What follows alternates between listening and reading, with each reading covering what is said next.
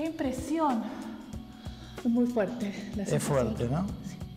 El programa de entrega voluntaria de armas de fuego eh, existe del año 2007. Es muy simple su funcionamiento. Las personas se acercan al RENAR, a las delegaciones fijas que tienen o a los puestos móviles y entregan sus armas de manera voluntaria y anónima. Cuando un vecino decide armarse por miedo a que le roben, ¿qué le dirías a ese vecino? Realmente las armas no garantizan la seguridad y la integridad de la persona. Muchas veces lo que vemos, lo único que hace es escala la probabilidad de violencia.